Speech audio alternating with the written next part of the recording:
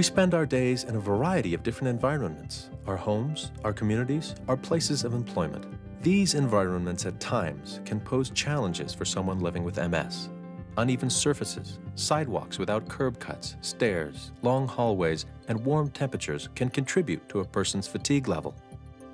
Frequently, not changing the environment, not changing the way things are set up, are the things that lead to narrowing of life experiences. So thinking about change rather than giving up the activity you love is a way to start managing fatigue and getting back into life. I was looking at the world the way I had always looked at the world in the past. Um, even though I knew I was fatigued, I wasn't really changing my way of operating in the world. And, and, and I think Jane had the same approach, the same expectations that we were just going to continue to do things the way that we had always done them. And that doesn't really work. We tend to live with what we have. We tend to think this is the way something is, and we don't look at the environment and say, huh, I could change that. So, one of the things we want you to do is to look at everything in your environment and think about whether it could be changed.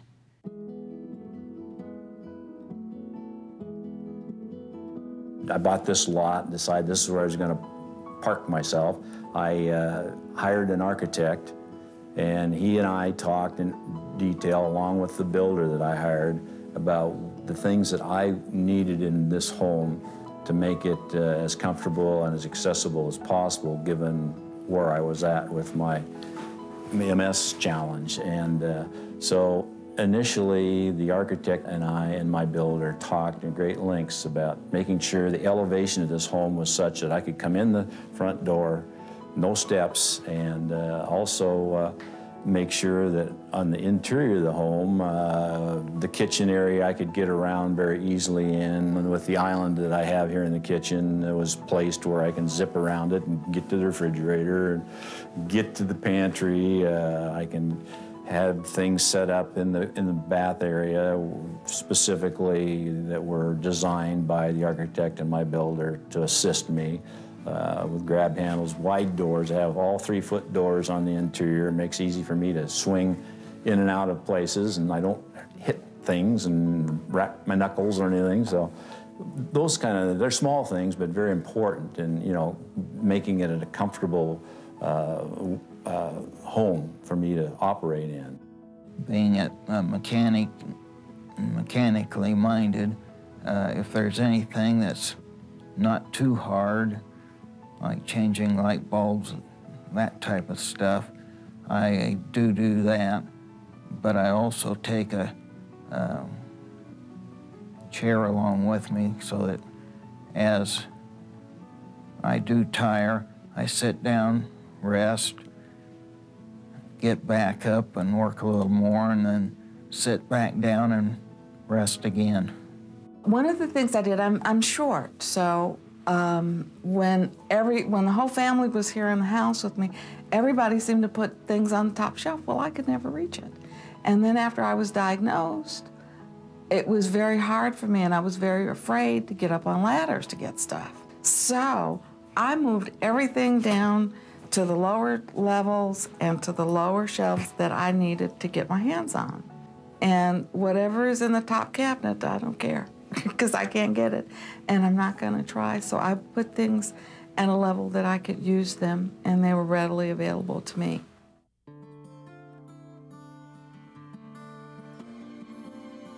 When my office recently moved, I worked with the person who was designing the, the layout of my desk, my computer, uh, and my file cabinets so that it would, uh, when I would have to get up and move around in the office, it would be the most efficient.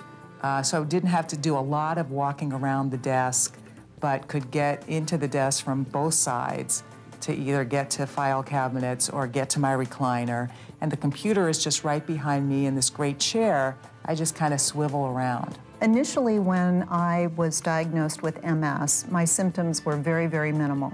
And I was an, a full-time outside sales rep. So I was on the sidewalk talking to customers eight hours a day. And wanting to be proactive with my employer, I took him aside and said, I'm noticing that my fatigue factor is starting to become an issue. He was very, very um, supportive and was able to move me into a telemarketing sales position, which took me off the street completely right away. And um, we are right now in the process of getting me set up so that I can work from home.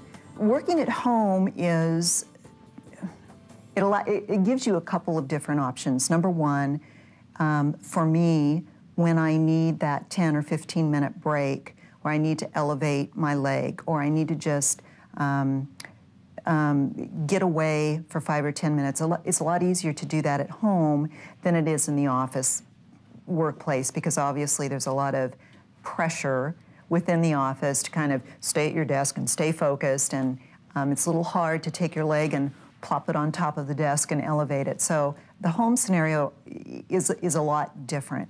The other thing in working at home is it gives me a lot more flexibility. I don't have to worry about um, getting up at five o'clock so I can be at work at eight, to do my makeup, to put my my wardrobe together. Um, I can jump in the shower, put on my sweats, get in front of the computer, and I'm at work, and I'm at work a lot faster, and there's a lot less um, work or fatigue involved in getting ready and prepped to get to work. In addition to modifying your home and work environments, addressing walking difficulties, using mobility equipment, and changing your mode of transportation will help you to get where you want to go. Long distance walking and standing are both very fatiguing for my legs. I wouldn't consider walking a long distance because I know I wouldn't be able to walk back. I really have to know where I'm going in advance before I go there so I can size up whether I can walk that far. Many people report that they do a technique called wall walking. They'll walk along and hold onto pieces of furniture, or if there's no furniture available, they'll hold onto the walls as they're walking along. This may be an indication that you're not getting good information about the ground you're walking on from your feet. Not knowing where your feet are makes walking difficult, even if you do not have weakness. A cane gives information on what the ground is like. Other problems should also be addressed. These can include tight muscles, dizziness, spasticity, or lack of coordination. What we call foot drop is often an early change in walking that some people experience. When the muscles of the ankle are weak, they may not be able to hold the foot up when you lift your leg to take a step. Toes dragging or catching can potentially cause you to trip. I will trip more often if I'm tired. And tripping to me is like stepping on a garden hose and falling all the way to the ground in a split second and not having any idea that I did it. And my foot drop um, occurs more, it's more pronounced when I'm extremely fatigued. A second common walking problem is weakness in the muscles around the knee. This can result in the locking of the knee as you go to put weight on that leg. Again, this is very inefficient. It can also be painful and can contribute to deterioration of the knee joint. An ineffective compensation for foot drop and knee hyperextension is circumduction, or swinging the leg out to the side when taking a step. These walking problems can all be very inefficient, and can easily and nearly invisibly be compensated for by using an ankle foot orthosis, or AFO. Without my braces, uh, I mean, I think I'd, every step I would take, I'd probably be falling down. So um, I really, I depend a lot on the braces. I've been wearing AFOs, leg braces, for 10 years now, and I wear them all the time, and I use crutches. The truth is, when I picked out the fabric that to make my AFOs, I didn't really think in terms of how perfectly they match my crutches. But they do. You know, it's just, if you have to use things like that, it's like having a wheelchair that is colorful or kind of racy looking. It just, it just, it's another way of decorating, I guess. Finally, weakness may be present at the hip muscles. When the muscles at the side and back of the hip are weak, people will shift their weight over that leg as they're taking a step with the other leg. Using an assistive device like a cane or a forearm crutch or a walker may compensate for this and make your walking more efficient. Scooter's been very, very beneficial for me. You know, I have a, I own a lumber company, and I've got 13 acres of lumber out there and big warehouses that I like to go out and be in, involved with. And this is my my wheels, and, and, and I go all over the place. You know, having a scooter is, is really you know, enlarged my world um, in terms of uh, it was getting harder and harder to walk, and so I was just traveling less. And uh, with a scooter, I can whiz, you know, you know, a mile or, or more through Portland to a faraway restaurant and uh, whiz back, kind of at a, you know, at a, at a risk to myself and others, but um, but I enjoy it. I've got a van with a with a ramp and a sliding door, so um, you know, if I have to go out to, to an event, I get on my on my van.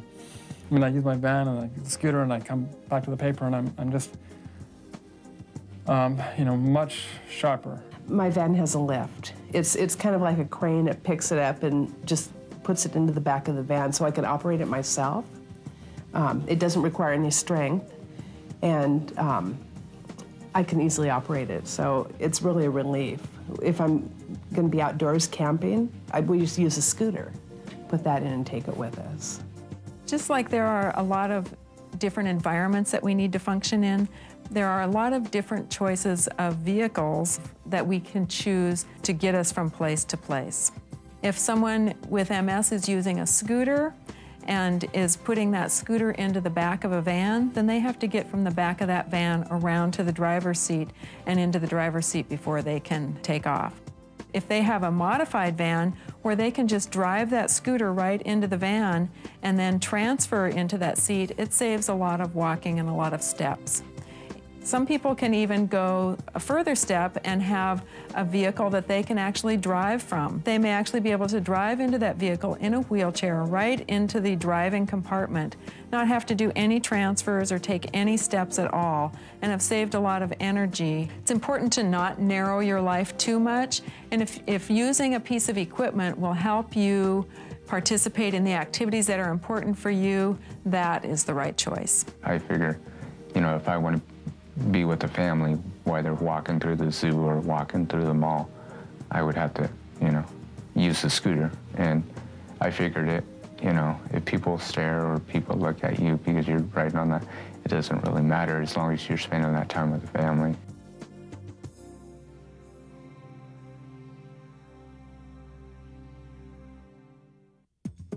Before you decide to give up something you enjoy doing, look for ways to change the environment. Many times, a simple change at home or at work will allow you to continue to do what is important. As you look around your environment for things to change, you may find that the easiest thing to change is the way that you are getting around. Walking problems can cause you to use a lot of energy getting from one place to another. Getting the correct equipment for your walking problem is a very important step in managing fatigue.